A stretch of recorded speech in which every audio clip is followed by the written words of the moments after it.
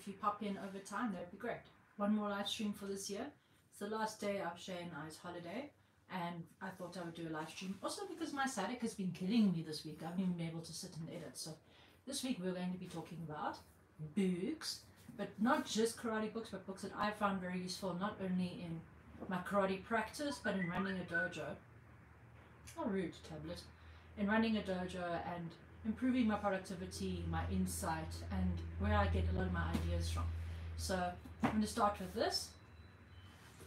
Uh, Goju-Ryu Karate Do, the first edition, it's a desk reference. This was recommended to us by our friend William Young. Uh, it is a, this is just a chronolo chronology of Goju-Ryu. What's happened from day one? I said, nah, I knew you'd be here.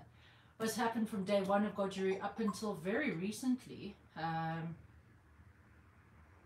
I think it stops at 2020. So this has been revised extensively. Anyone who's anyone in Goju-Ryu is mentioned in here, including some South Africans. And it's got some wonderful archival footage, some great pictures. Tanya! Ah, the Jaguars are in town today. So I love this book. My only problem with it as someone who's got kind of cuck eyes, the font is very small. It's not dark enough and it's in Times New Roman, which is no longer as legible as modern fonts. And I wish the author hadn't done this. I know Sensei John Paul is a very respected man in Goju-Ryu, but um, every time he mentions the word karate, he puts the kanji right after it. So it's kind of like a visual handbrake, because every time you read it's English, English, Japanese, English, and I find my eyes get tired because it's like a speed bump. Um, so it's a personal thing. It's uh, not enough to stop you from getting this amazing volume all the books I'm showing you today are available via Amazon or even to South Africans. And that's why I'm not talking about a lot of the other books we've got on our shelves because they're out of print or they are very difficult to find. So first start, whether you're a serious practitioner or not, this is a great insight into the history, just the chronology, chronological history of Goju-Ryu. A little bit of a Seiwa bias, but the author's from Seiwa so be forgiven and understand. For my fellow instructors, I just picked this up. As you can see, um, started annotating and highlighting this book. uh, it's just a nice insight into how to be an instructor, uh, pitfalls, the mistakes we make, how to make your teaching more interesting, how to be responsible as instructor. He draws a very strict line between instructor and kind of like the all-round mentor figure that we have found ourselves filling a role. As society lets people down like we do end up filling a little bit of a counselor role. Obviously we're not professionals but the professionals aren't available to most people either. So but he does have great things on lesson planning and how to work with kids. It's the same guy who wrote uh, the way of kata which everyone who's anyone in karate uh, where's my copy in my karate books for beginners video, I mentioned uh, this book. He wrote it in conjunction with one of the guys who's mentioned on the back of this book. So if you're an instructor, super valuable uh, book to consider getting. I will link all of these in the bio later after this video with our affiliate links for Amazon for the five, six cents we earn there, but well worth your time. Okay, let's take a jump out of karate for a minute. Atomic Habits by James Clear. His newsletter you can sign up for and it's extremely valuable. I've found so much insight. When is the dojo opening? On Monday, Senna. But check with your mom. Um, where was I? His newsletters actually got me into reading this book and he has so much valuable insight on how to build the habits. Now, karate is essentially a habit. The habit of showing up, the habit of tying your gi properly. So he has books he has priceless lines in here things like you you become what you repeat and walk slowly but never backwards. Immense insight. So for our senseis are like fortune cookies sensei mario um we all who doesn't like to dispense wisdom from on high? This book you're going to find is extremely valuable in helping your productivity and how to build the habits you want. Whether you want to be more productive whether you want to be the kind of person that gets up at five o'clock in the morning for a run this is the book that will help you get there. Really, really, really valuable. Where are we going next? Back to Karate Land. My most heavily annotated book. Um, every page on this is a gem. Um, Shay is not a fan of the author because apparently he talked smack about Sensei Chinen, but um, I still find this book incredibly valuable. I talked about it in more depth in my basics by books for beginners video, but I'm just open to a random page. Um, just here's one about tips about mae geri or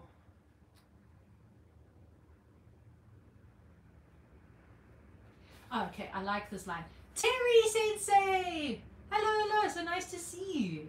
So, uh, when he talks about one's talent and creativity are useless unless they are channeled effectively. There is constant tension between adherence to form and learning to express oneself that provides much of the dynamic of real teaching and learning in karate do or any other budo.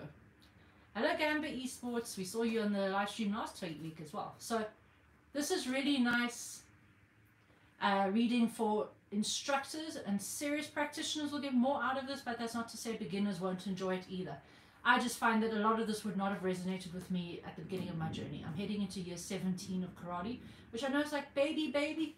Uh, Sensei Terry, who I just waved to now, has been training in karate an exceptionally long time, has been training with the OGs of American karate.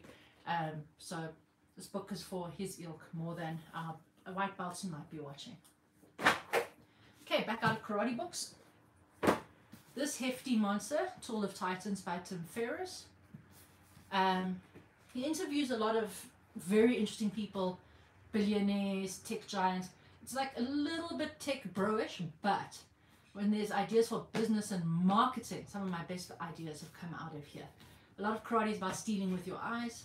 This book has given me more marketing ideas than any other. So um, absolutely look into taking Tools of Titans.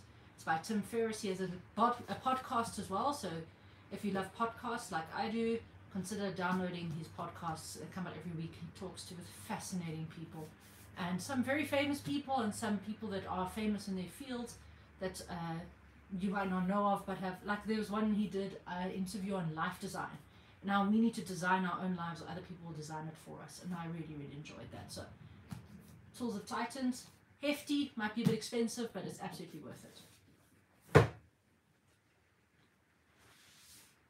Okay, now I'm going to get into the soft feminine books. Um, those are all very masculine man-man books. Daring Greatly by Brené Brown. She has a great Netflix show. Please, please check it out. She talks about vulnerability. Vulnerability is the difference between a coach and a sensei. It's the difference between a, being an average sensei and a great sensei. Because when you are vulnerable, you are human, and therefore people can connect with you. And if they can't connect with you, you can't teach them. So for me, one all of her books, but especially dating, words are hard. Especially Daring Greatly, I absolutely adore this book. I buy this as a gift for people, and it helps us um, get rid of this this armor that we have of perfectionism. Which, yes, karate instructors and practitioners, I'm looking at you Perfectionism, perfectionism is the enemy of done. It's the enemy of good. You cannot be perfect, and perfection is boring anyway. But we feel like if we're not perfect and if we're not invulnerable and immortal and untouchable, we can't be good instructors. This will teach you that the more human you are, the more you embrace who you are and your natural talents and gifts. Um, hi, Iron. Um, you can't be the instructor you're meant to be, or the student, or so the the subtitle because I might be waving around too fast. Daring greatly how the courage to be vulnerable transforms the way we live, love, parent, and lead.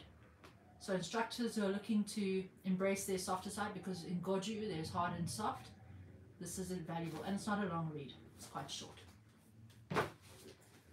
One more soft book, and then we'll get back into the karate. Amanda, ooh, Amanda Palmer, The Art of Asking. She actually started the idea of the kick, she was the first to have the biggest Kickstarter model for launching an album to cut out the uh, the middleman, to cut out the record producers. And this book is about how when you reach out, people reach back. And her band used to send around a busker's hat after their performances. And some people felt like she was begging, but a lot of people like we want to give you money, not to the recorder. And we've seen this as this with mod- with some very small success with our membership program because people like to reward you for the work you do if they like you and they and they want to see more of what you do they're happy to pay You know, and you shouldn't be ashamed to ask for that. You shouldn't be ashamed to ask for the sale, especially when you what you're giving away you feel and other people feel has value. So, this is a wonderful book. It was uh, this got the forward by Brené Brown as well, as she is one of Neil Gaiman, Neil Gaiman's most recent wife. They're kind of in um, limbo at the moment, but I love this book. It actually helped me in a big way quit my corporate job to become a karate instructor. So this has a very big place in my heart. Okay, back into karate like I promised. So here we are.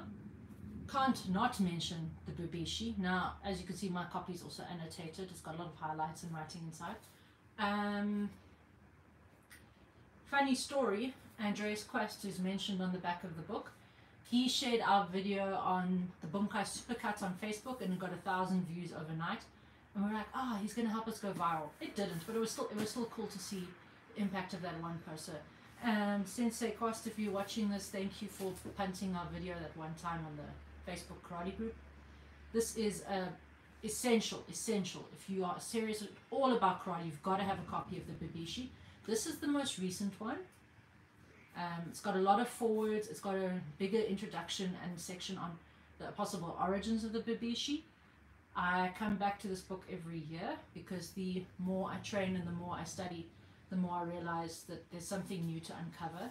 This is a lifetime study book. Um, there's some things that a white belt won't understand. There's things that so for all the deshis you've been through uh, under Shay, I'm deshi number seven. Brian is deshi number eight.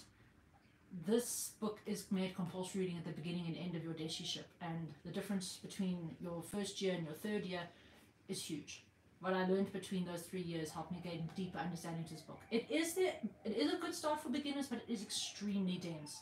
I have to sit at a table with a bright light and pens and paper while I work on it. It's not bedtime reading. You will pass out. So, not that uh, Sensei McCarthy isn't a brilliant writer, but it's just extremely dense reading. In my opinion, the only reference anyone needs on Hojo Undo is a uh, I'm going to call him Sensei Michael Clarke because he is extremely senior in this regard. And yes, I know it's blasphemous to say like that a Gaijin author is the best resource, but this book is all you will ever need on Hojo Undo. We reference this constantly in our videos. How to make your own, how to use it. It's got wonderful, neat and clear diagrams. And I, you can make very affordable Hojo Undo, and if you are serious about being a strong karateka, you need to consider um, getting one of these. And this is very easily and widely available. I think it's been uh, in print for a long time. Let's have a look. It feels a bit like it's... Who published it? YMAA. Okay, so it's through a, uh, traditional publisher. I think because of the diagrams and stuff, it's why it's such a weird shape. It's not a neat, tidy book shape.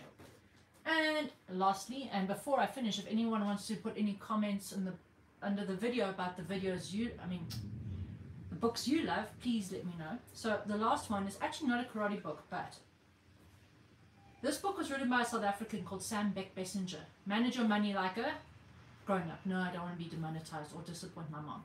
So this book is the essential book we give to all the young deshis, and I mentioned it should be compulsory matric reading. This book helped me dig myself out of a financial hole. It is brilliant. If you're in debt, if you want to work on building your wealth, uh, the reason I'm using a tablet, uh, our current Deshi has my copy. Hi Solomon. So please consider getting this. Uh, parents, there is, uh, let me show you the teenage copy. There is a version for teenagers without the swearing inside the book. It's a bit of a naughty book, but I like it. The kids cover is green. And if you have a teen who's interested in a side hustle, who's interested in saving, who's interested in looking towards their future, I really recommend this book. She's funny, she's easy to read.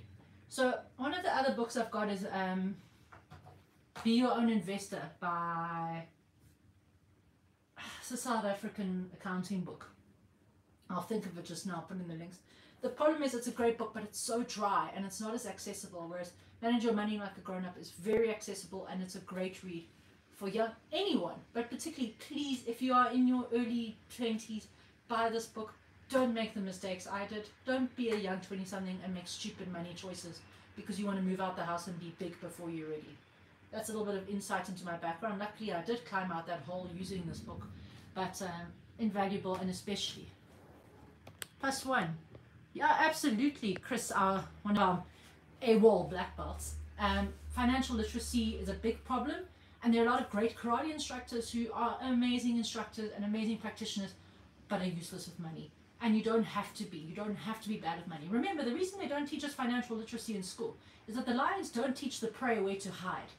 There are a lot of people who benefit from us not knowing how to use our money. Any advice for the students who are higher bulk but out practice due to COVID? Wonderful question. Okay, let's see. Let me take you all on a tour of my library. Hmm. Uh, good entry level karate books. Uh, give us your style. If it's Goju-ryu, I've got lots of those. If you're in Shotokan, you need to get uh, Dynamic Karate by Nakayama. Uh, Sensei Miguel's dojo is named after this book. And this is a great, great book for our Shotokan friends. no, no, okay, let's see. Uh, obviously, oh, no, there's Stan Schmidt is South African. I doubt his books are in print around the world. It's a pity because he actually had a lot of good stuff to write. So he wrote, for our South Africans, one of the best karate books to come out of Shotokan is actually by one of our own. He died in 2019, I think. Let's see. Hmm. Out of practice, if you're out of practice and you're losing the kind of spirit and you want to get back into your martial arts spirit, then I recommend Swordmaster's Apprentice. This is actually also written by a guy I did Aikido with in South Africa, but only found out after I bought the book. I went to the book launch when I was working in Susa Books. So this is a nice book about um, uh, what it takes to be a real hardcore deshi. Then it's not on my shelf at the moment. The deshi's also borrowing. It's Chojun by uh, Goran Powell, which talks about Chojun Miyagi's life and childhood. Oh, now you can all see my untidy desk. Gross. Let's see. Hmm. I hope that helps. I'll put a link to those books, but also go check out my books for beginners because there's also some other higher level stuff in there. Let me pop this back here so it doesn't look like the Blair Witch Project. Okay, I think, yeah, 17 minutes is a good time for a video. Does anyone have any other book suggestions they'd like to make or talk about any of their favorite books? I will hang around for a minute or two and then I am going to go and unplug all the internet and everything because a massive storm is rolling in classic Joe Thunderstorm. Sena, your time will come to read all these hard books. Remember, all the black belts in the dojo get access to the dojo library. So one day is one day. That's one of the perks of being one of our black belts.